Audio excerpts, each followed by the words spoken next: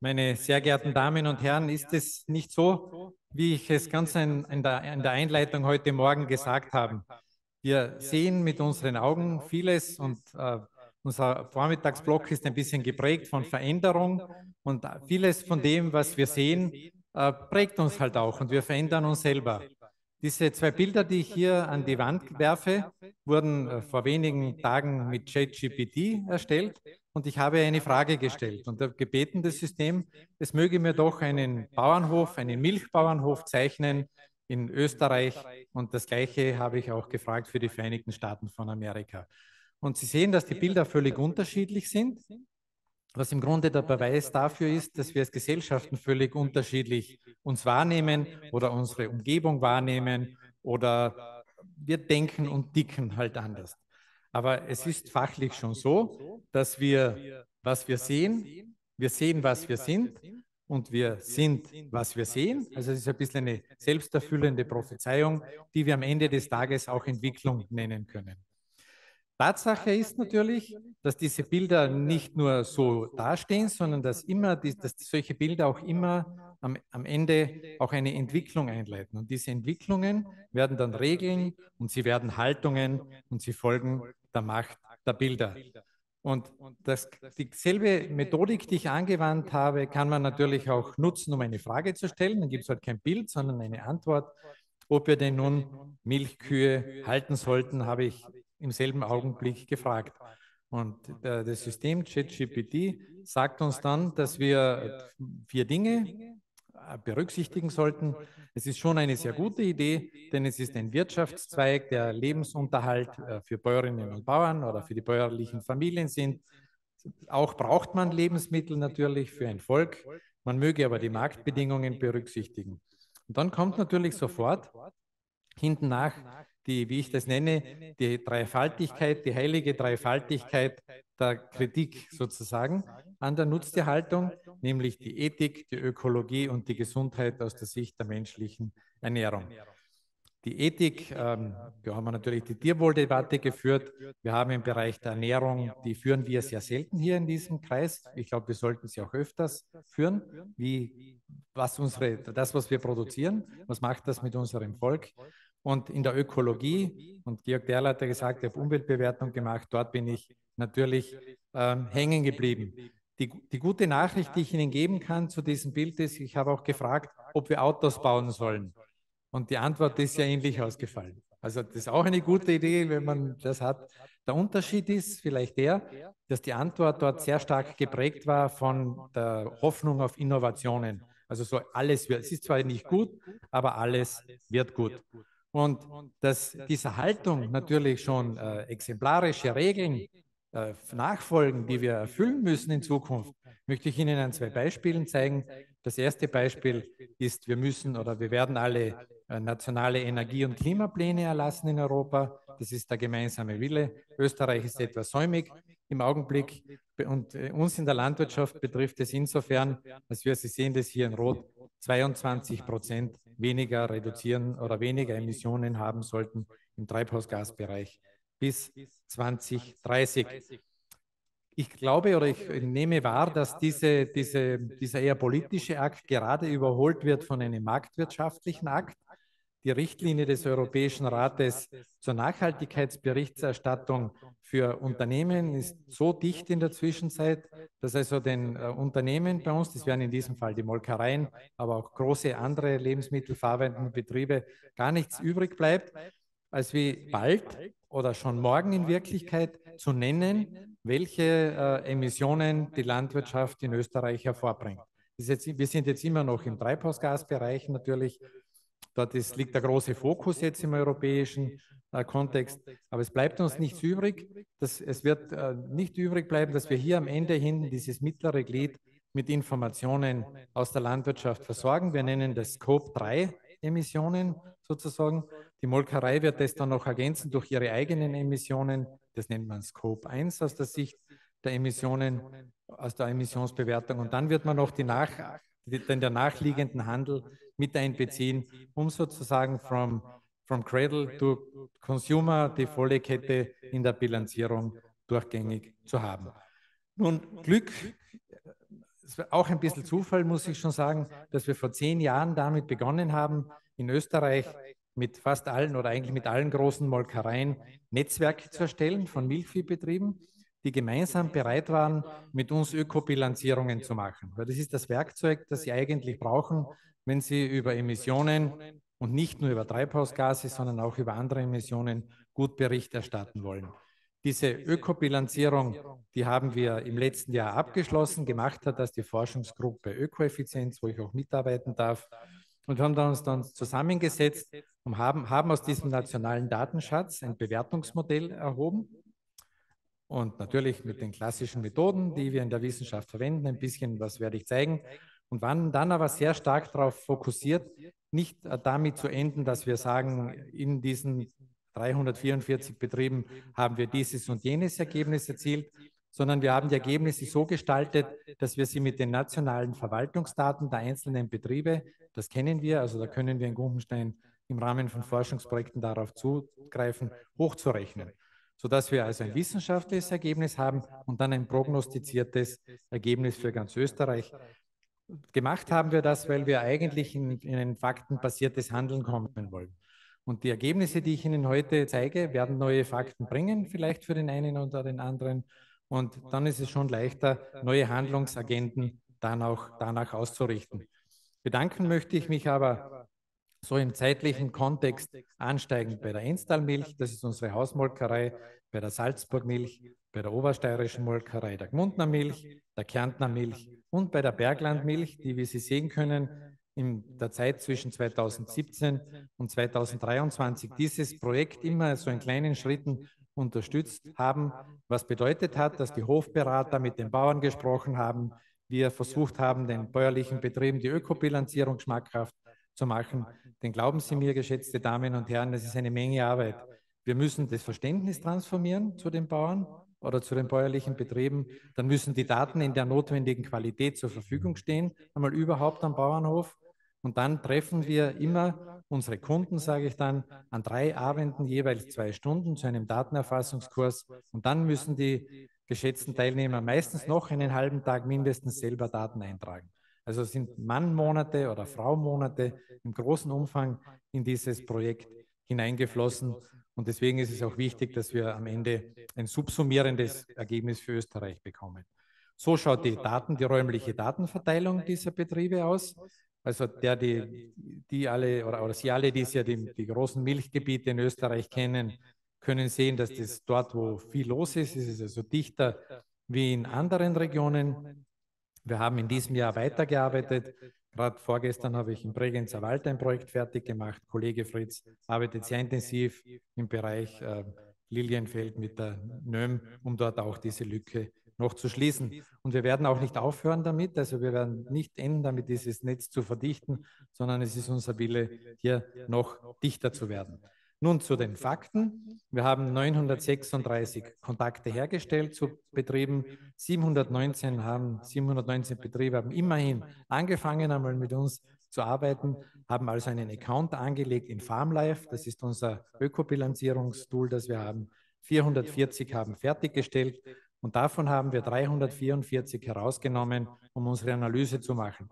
Das sind nicht die 344 Besten oder so irgendwie, sondern die Differenz zwischen 344 und 444, also 440, diese annähernd 100 Betriebe, da geht es um Betriebsabgrenzung.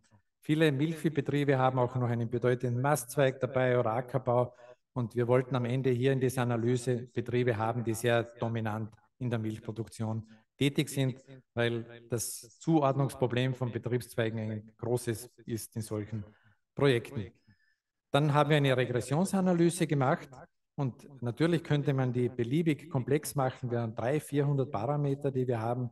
Und es gibt bestimmt bessere Schätzer als wie die, die ich jetzt hier genannt habe. Aber diese Schätzer, die fixen Effekte des Managements, also biologisch oder konventionell, beziehungsweise die Lage, die virtuelle Lage, wenn man so will, Berg, Hügel und Tal, die wir äh, immer berechnen über die Flächennutzungsanteile von Dauergrünland, Silomais und Ackerbaufähigkeit auf den Betrieben, wurden, es waren also unsere fixen Effekte, die finden wir auch in den in Vekos-Daten.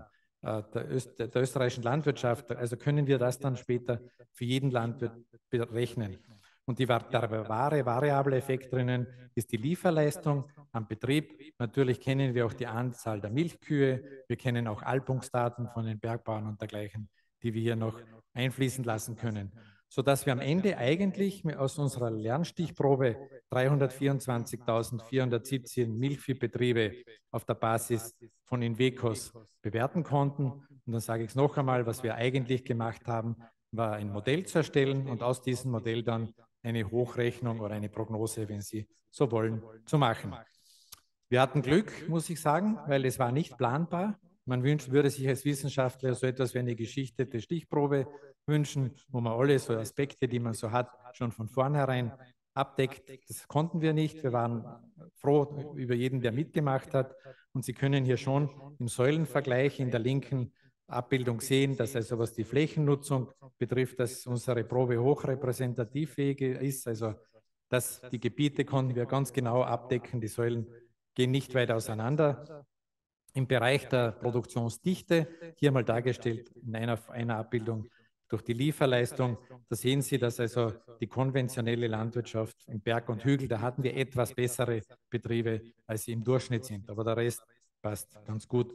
Wir sprechen trotzdem von einer repräsentativen Stichprobe, weil die Abweichung nicht sehr groß ist und es stört uns auch nicht ganz so stark, weil in Wirklichkeit ist es uns nicht darum gegangen, irgendeine Tabelle zu machen, sondern wir wollten Funktionen ableiten. Und da war es eigentlich nur wichtig, dass aus allen Bereichen der Datenverteilung Betriebe drinnen sind und das ist uns sehr gut gelungen. Nun, zur Ökobilanzierung, das ist ja nach dieser Klassifikation das wichtigste Werkzeug. Äh, Sie müssen wissen, die Ökobilanzierung braucht immer so etwas wie Goal and Scope, also einen Rahmen und eine Fragestellung, nach der sie durchgeführt wird. Der Rahmen bei uns ist die Produktion der Landwirtschaft, der Milchwirtschaft in diesem Fall bis zur Hoftorgrenze. Es werden berücksichtigt indirekte Emissionen, die dadurch entstehen, dass der Betrieb Inventar besitzt, dass er Betriebsmittel zukauft. Also das sind Dinge, die von außen kommen. Bei diesen indirekten Emissionen entsteht äh, die Emission nicht am Hof. Die Bauern fragen uns dann manchmal zum Beispiel, da gibt es einen Parameter, der heißt Abholzung. Ich habe nichts abgeholzt auf meinem Bauernhof. Das ist aber eine indirekte Emission, die zum Beispiel in Zusammenhang steht mit dem Landverbrauch der fossilen Energiegewinnung, zum Beispiel, damit Sie das verstehen können. Dann haben wir äh, natürlich die direkten Emissionen. Da sind äh, wir alle Profis. Also wir wissen, wie man Methan berechnet und CO2-Verbrauchszahlen errechnet aufgrund vom Diesel oder Lachgas, wenn wir mal jetzt im Treibhausgasbereich sind und können natürlich auch im Feldbau gute Werte erheben. Wenn das alles gemacht ist und die Kreislaufe, Kreisläufe am Betrieb berücksichtigt sind, dann kann man sich dem, dem Ziel, dem Produktionsziel zuwenden. Das ist, wie gesagt, ganz allgemein bei FarmLife können das pflanzliche oder tierische Produkte sein. Bei uns gibt es einen großen Fokus auf die äh, Milch und darum gibt es auch eine Allokation. Es ist der Fachbegriff, den man in der Ökobilanzierung für Zuordnung verwendet. Und Sie sehen da nach den Modellanpassungen ein Sterndl. Es ist ganz wichtig, weil in unserem Handlungsfeld hier in Europa die, das, diese, diese Richtlinie der International Dairy Foundation so wichtig ist. Die haben eine Ökobilanz, eigene Ökobilanzierungsrichtlinie erlassen und an die muss man sich, wenn man sich vergleichen will, auch anpassen. Interessanterweise sind dort die Vorleistungen von Maschinen und Gebäude nicht drinnen, sage ich Ihnen nur.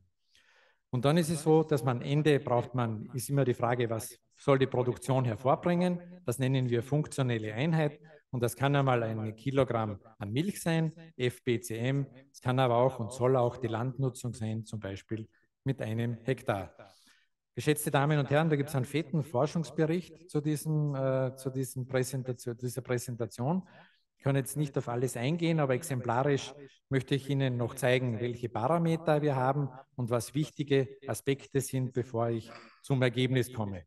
Nun, Sie sehen, wir befassen uns, auch wenn ich jetzt viel über Klimaschutz gesprochen habe, bei weitem nicht nur um den Klimabezug, der ja im Allgemeinen nach den IPCC-Richtlinien mit dem Treibhauspotenzial bewertet werden muss. Meine Meinung dazu habe ich bei der letzten Wintertagung geäußert. Das ist schlechter als gar nichts. Also, nein, es ist gar nichts. Dieses Treibhauspotenzial ist einfach ein wissenschaftliche Fehlleistung, muss ich sagen. Und umso mehr ich darüber nachdenke, umso mehr ärgere ich mich. Viel besser wäre das Erwärmungspotenzial oder für diejenigen vielleicht, die schon ein bisschen eine Expertise haben. Wir bräuchten eigentlich nur beim Strahlungsantrieb in der Atmosphäre bleiben. Radiative Forcing wäre der englische Begriff, weil das wäre eigentlich der, der Leistungswert in Watt pro Quadratmeter, den, um den es in Wirklichkeit geht, wenn es um Erwärmung geht. Gut, geschimpft genug. Ähm, wichtig trotzdem für den landwirtschaftlichen Betrieb sein Ressourcenbezug, auch nicht nur aus ökologischen Gründen, sondern auch aus rein ökonomischen. Wie schaut es denn aus mit dem fossilen Energieverbrauch? Der Phosphor ist wichtig, die Fläche natürlich. Wie schaut der Wasserverbrauch aus? Gerade in der Milchwirtschaft immer wieder mal ein mediales Thema. Die Abholzung habe ich schon genannt. Und dann gibt es noch herunten im unteren Bereich den Nährstoffbezug. Da brauche ich nicht sagen, der ist, sowieso, der ist sowieso bei uns schon lange in Fleisch und Blut übergegangen. Und der Schadstoffbezug, das wäre so die Wirkung von Pestiziden und Schwermetallen. Und was, wie dieses Modell oder welche Ergebnisse die Modellbildung hervorgebracht hat, möchte ich hier dann trotzdem am Treibhauspotenzial zeigen, auch wenn ich so geschimpft habe drüber. Sie können sehen, dass also die Linien, die hier so nach, oben nach unten verlaufen, unten auf der X-Achse haben wir äh, die Lieferleistung der Betriebe von 3000 bis 11.000. Sie können also sehen, dass also mit zunehmender Lieferleistung der ökologische Fußabdruck in Kilogramm CO2-Äquivalenten abnimmt. Aber Sie sehen auch eine Streuung zwischen den Regionen. Das heißt, dieser regionale Effekt oder auch der Management-Effekt ist natürlich auch gegeben. Für Sie ist es aber wichtig, dass Sie, wenn wir die zweite Achse oder die zweite funktionelle Abbildung, wenn wir uns die anschauen, das ist drüben sozusagen die, die, dieses zweite Bild, der ist ja wirklich nichts wert, der rote Punkt. Also da sehen Sie, dass mit zunehmender Leistung die, die Wirkung pro Hektar sich aggregiert. Die Botschaft lautet, kann also nicht lauten, wir müssen immer mehr produzieren, weil wir gesehen haben, das hat einen positiven Effekt auf die Ökologie von Lebensmitteln. Das können wir deshalb nicht sagen, weil auch wenn diese Kurve da nach unten geht, sie geht zu wenig steil nach unten. Sie müsste viel steiler nach unten gehen, damit da drüben die, die Last pro Hektar konstant bleibt. Und am Ende geht es ja in vielen Bereichen des, des Umweltschutzes nicht so sehr um die Konzentration, das brauchen wir halt dann am Markt, sondern eigentlich geht es um die Summe von Wirkungen am Ende des Tages. Wenn wir das jetzt noch einmal uns mit GTB anschauen, dann sehen Sie, dass das viel niedriger ist, habe ich aber schon gesagt. Wichtig ist, dass es aus der wissenschaftlichen Sicht, Sicht immer zwei Dinge braucht, die wir berücksichtigen müssen, wenn wir so Umweltsysteme bewerten. Einmal ist es dieser Aspekt des Economy of Scale, das ist die Verteilung von Leistung auf Grundlasten, also bei uns in der Milchproduktion, der Haltungs- und der Leistungsbedarf, da haben wir heute schon ein bisschen was dazu gehört. Und dann gibt es aber noch zweite Aspekte, die einfach nur eine Aggregation bilden. Und wenn wir uns das gesamte Set, das wir in Österreich haben, anschauen, so können Sie sehen, dass nicht alle oder bei weitem nicht alle Umweltwirkungen diesem Economy of Scale folgen. Manche schon, wie die Treibhausgasfrage oder die Nährstofffrage. Das glaube ich, da gibt es sehr tiefes Verständnis. Viele andere, für viele andere Umweltwirkungen gilt einfach, wenn wir mehr von diesem einem Stoff verwenden, dann haben wir halt am Ende des Tages mehr Wirkung. Die Streuung äh, zum, zur Streuung äh, des, des, des Systems. Ich zeige Ihnen hier ganz große Tabellen mit vielen Daten in der Hoffnung, Sie können sie nicht lesen. Ich kann Ihnen nur sagen, es ist immer so, so eine Umweltbewertung ist immer von großen Streuungen behaftet, weil der, die der Hof kann so einen großen, starken Einfluss haben, dass wir immer mit viel Streuung handeln müssen. Aber die gute Nachricht auf der anderen Seite ist, die gefundenen bestimmenden Werte, die sind schon ganz gute Schätzer. Wir haben eine, von einer Kreuzvalidierung Abstand genommen. 344 ist jetzt nicht die ganz große Zahl, haben aber damit begonnen, in der Zwischenzeit mit neuen Teilprojekten das bisherige Ergebnis schon zu validieren. Das ist jetzt das erste, erste, das erste Netz, das wir bewertet haben, seit wir die Arbeit geschrieben haben. Und Sie sehen, das ist zufriedenstellend. Die Streuung ist groß, aber die Gesamtentwicklung im Netz, äh, die zeigt sich so, wie wir das wollen.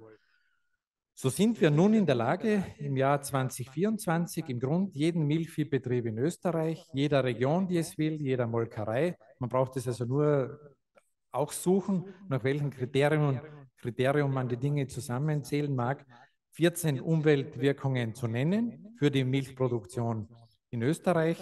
äh, ohne da jetzt wieder im Detail einzugehen, aber stellen Sie sich das etwa so vor. Wir brauchen einige Esslöffel an fossiler Energie, um einen Liter Milch zu erzeugen. Wir brauchen eine Messerspitze an Phosphor. Wir brauchen ein paar Körnchen, wenn man das so will, also an, Phos an Messerspitze an Phosphordüngen. Dünger. Verlieren tun wir Phosphor wirklich nur ein paar Salzkörner, so in dieser Größenordnung. Wir haben einen CO2-Fußabdruck von etwa einem Kilogramm CO2-Äquivalente pro Liter Milch oder von 0,36, wenn man die bessere Metrik verwendet. Die, diese Daten sind beeindruckend, machen aber erst dann Sinn, wenn wir sie in die internationale Literatur einreihen. Ich habe das jetzt wieder nur für das Treibhauspotenzial hier gemacht. Das ist also global sehr neue Literatur, die global verfügbar ist. Ich habe jetzt gar noch nicht alle Quellen drauf, die wir uns so angeschaut haben. Aber Sie können das, wenn man die Milchproduktion weltweit einteilt, grob so einteilen oder grob so unterteilen, dass wir Regionen haben, in denen die Milchproduktion einfach nicht funktioniert aus der Sicht. Das wäre so Saudi-Arabien, die Luciane anbauen mit und so weiter, kennen Sie alle. Dann gibt es ein paar Regionen, wo die, die Standorte unbestimmt sind. Die Tropen sind kein wirklich guter Platz, zum Beispiel, um Milch zu produzieren. Dann gibt es viele variierende Standorte mit schwankenden Prozessen und oben, ganz oben, da gibt es Neuseeland und Österreich. Gute Nachricht. Das sind die guten Grünlandstandorte, die auch gute Prozesse haben und die das deshalb relativ oder sehr kleine ökologische Fußabdrücke zusammenbringen. Oder machen wir es noch einfacher im Schulnotensystem, weil das, was ich hier berichte, ist ja alles relativ kompliziert. Im Schulnotensystem wird es ein bisschen leichter. Wir sind, kriegen einen Einser, oder ein sehr gut, bekommen wir für den Phosphoreintrag im Wasser. Wir haben bei der Treibhauswirkung einen Einser, beim blauen Wasser einen Zweier. Abholzung und Ökotoxizität ist so ähnlich. Dass wir beim Flächenbedarf schlecht sind, eigentlich einen Dreier, tut uns nicht weh, denn wir nennen das in Österreich Kulturlandschaftserhaltung und Stickstoff, der Stickstoffeintrag in Österreich ist auch deshalb etwas höher, weil die, die Niederschlagsverteilung in Österreich im nordalpinen Bereich hier einen gewissen Einfluss hat. Nun möchte ich abschließend die letzten Minuten dazu nutzen, Ihnen zu erklären, warum wir so gut sind, weil das ist eigentlich die Kernbotschaft, die ich bringen will. Wir sind deshalb so gut in vielen Umweltwirkungen, weil wir ein tolles Grasland haben. Also es ist gut, wenn man schon irgendwo eine Wiese hat, auf der Gras wächst, dann ist es gut, wenn sie in Österreich ist. Denn es regnet viel bei uns, das ist noch recht sicher. Trockenheiten sind, werden ein zunehmend kleinregional ein Thema, aber im Großen und Ganzen ist es immer noch erfreulich. Wenn man sich so ein, ein gutes Grün, ein Stück Grünland anschaut, dann stellt man ja fest, wenn man einen Wiederkäuer hat, dass das auch sehr produktiv sein kann. Alles, was dort wächst, kann verwertet werden, gibt viel Eiweiß und auch eine Menge Futter dort. Das ist das Erste. Das Zweite ist, unsere Kühe sind leistungsfähig genug. Das ist ein schwieriges, ein Glatteis ist das für mich immer. Denn leistungsfähig genug heißt im globalen Kontext, sie brauchen keine Zugarbeit mehr leisten, sie sind gesund soweit. Das heißt, sie können also Milch produzieren. Zugleich möchte ich auch äh, schon feststellen, dass wir an der Effizienz der Leistungsfähigkeit nicht besonders erfolgreich gearbeitet haben. Das wissen Sie. Die Tiere wurden zwar größer und geben mehr Milch, aber pro Kilo Futter, und diese Futter habe ich ja schon gezeigt, wie wichtig das ist, sind sie nicht wirklich viel besser geworden. Schön, dass wir irgendwie bei unserem Leisten geblieben sind, wenn man in der Sprache des Schusters spricht. Wir wollen noch nicht in der gesamt, österreichischen Gesamtherde nicht gar zu viel von unseren Kühen. Also die Milchleistungen, die wir abliefern an die Molkereien und die auch in der, in der Zuchtwertschätzung oder in der Zuchtkontrolle erhoben werden, sind ja immer noch vergleichsweise niedrig im Vergleich zu anderen Ländern, mit denen wir in Wettbewerb stehen. Die Tiere sind gesund. Es zahlt sich sicher aus, in Tierwohl zu investieren. Da bin ich unbedingt dafür. Das ist eine Sache, die wirklich zur Effizienz führt.